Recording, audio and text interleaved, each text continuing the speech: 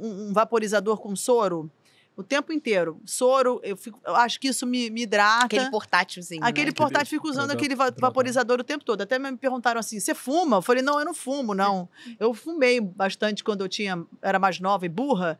Eu fumei, mas hoje em dia já parei de fumar há uns 10 anos.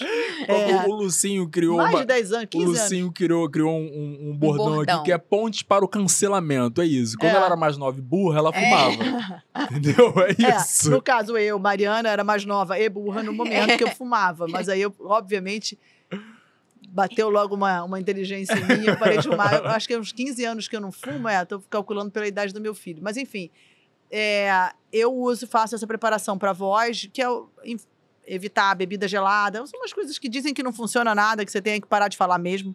Mas eu faço isso. E fisicamente não faço nada de diferente, porque eu, eu faço ginástica, então já tenho algum fôlego.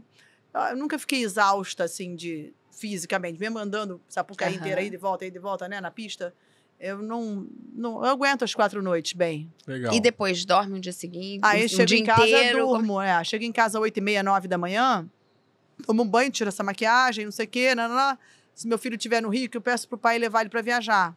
Mas se ele tá no Rio, eu dou um alô nele, aí ele quer brincar comigo, eu digo que não dá e vou dormir. Uma, É a- uma das preparações é justamente arrumar uma boa viagem pro filho pra É. você poder aguentar tudo isso. É melhor chegar em casa e poder dormir já de cara, né? Mas aí, às Claro. vezes, eu brinco com ele, às vezes não. Depende.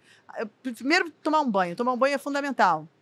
Aí você fecha o quarto e dorme até três horas da tarde, que é a hora que você tem que voltar para lá.